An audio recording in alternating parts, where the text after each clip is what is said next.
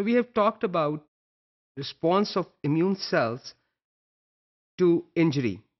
The example we were talking about is a thorn prick. And incidentally, that thorn also carried some pathogens, some bacteria with it. So we said that first response to this injury is release of histamine by mast cells to dilate the blood vessels, allowing other cells to come in and take action. So before we go any further and see what happens next, first let's talk about the cells that make up immune system. So here's a slide which shows you the major immune cells. Immune cells, all these cells originate from cells, precursor cells in the bone. These cells reside in the bone marrow. These are pluripotent hematopoietic cells. These cells divide and they can form two types of progeny. Myeloid progenitor cells and the lymphoid progenitor cells. The lymphoid progenitor cells give rise to lymphocytes. There are three different types of lymphocytes. B cells, which make antibodies, T cells, which kill virus infected cells, and most importantly, they regulate the activities of other immune cells. The third category is natural killer cells. These cells lyse virus infected cells or cancerous cells. This is, these cells come from the lymphoid progenitor cell. Myeloid progenitor cell gives rise to two groups of cells. One group does not have any nucleus and they compose of basically RBCs or the red blood cells which give our blood the red color because they have iron in it. We know that iron is required to carry oxygen to different parts of the body. Platelet cells, these are actually fragments of a cell. They initiate blood clotting. The other group is the white, other white blood cells are include basophil cells and the mast cells. Basophil cells and the mast cells, they both contain histamine and they release histamine when it is required of them. Eosinophil cells kill antibody coated parasites. Neutrophils and macrophages they engulf and digest microorganisms or pathogens. Macrophages come from basically monocytes. Monocytes develop into macrophages.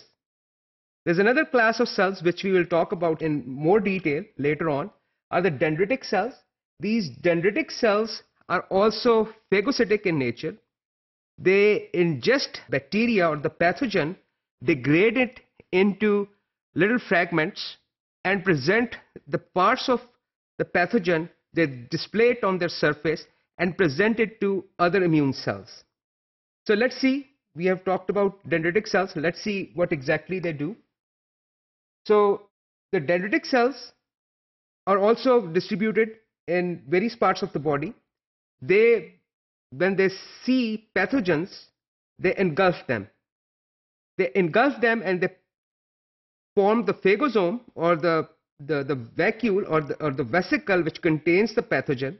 They fuse that vesicle with the lysosome, causing degradation of that contents of the phagosome. And then they display the parts of that pathogen on their surface. You can see right there. Right here, these are the parts of this bacteria which are being displayed on the surface of this dendritic cell.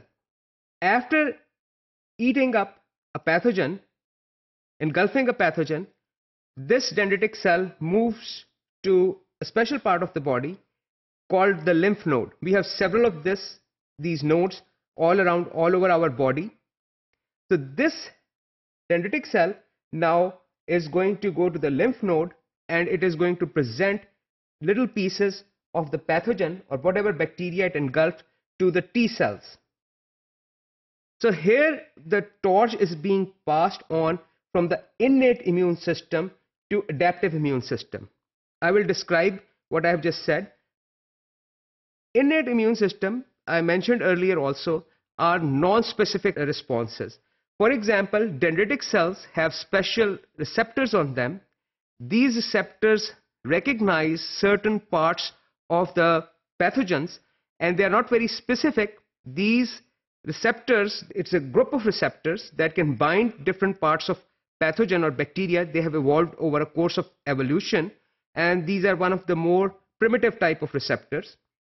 So they cause this cell, our dendritic cell to form, uh, eat this bacteria and when these dendritic cells move to the lymph node, they can present those pieces to the T cells. Dendritic cells are part of innate immune system because they are not specific. They will eat any microbe, whether it's bacteria or virus or doesn't matter what type of bacteria it is, it will eat it.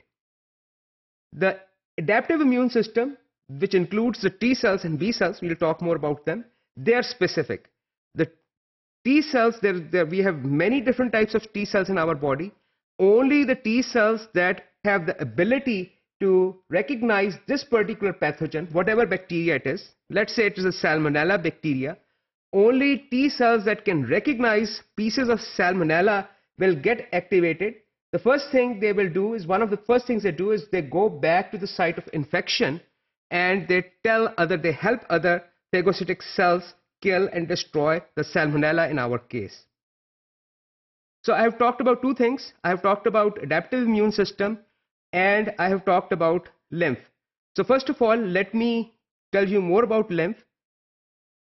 Here's a diagram of lymphatic system. So we have another type of vessels in our body which is distributed. They carry lymph, which is a fluid. It is a clear fluid. Lymph is derived from blood and it accumulates in the intracellular spaces. So from these spaces, lymph is collected through a network of ducts and lymph is then, this lymphatic fluid is then returned to the blood at special part in a special blood vessel, which is the thoracic duct. While this lymph is traveling in the lymphatic system, it encounters these structures which I referred to as lymph nodes earlier. These lymph nodes, we'll see a larger photograph of this. These lymph nodes have a population of specialized cells, T cells and the B cells, which are performing an inspection. Just like when passengers come out of the airport, there's a customs stall. The luggage of these passengers is inspected. Lymph nodes have cells in which we have custom inspectors. You can think of uh, these B cells and T cells as the custom inspectors. They're looking, they're inspecting the contents of the lymph and trying to see if there are any foreign particles in it. So these lymph nodes, let's see a larger picture of them. Here's a lymph node. So the lymph fluid comes into the lymph node. The lymph fluid, lymphatic fluid comes in and here it gets filtered there are specialized areas of uh, the lymph node where specific cells live. For example, in lymphoid follicle area of the lymph node, the B cells reside and the T cells are primarily present in the cortex. And when the lymphatic fluid comes in, these cells do their job, which is to inspect the, the contents of the lymph. So it is filtered and inspected. Okay, so this is the structure of lymph node. Uh, next, we will see when I said adaptive immune system, we will look at what adaptive immune system is and what are the responsibilities of adaptive immune system and more importantly, what are the components of adaptive immune system.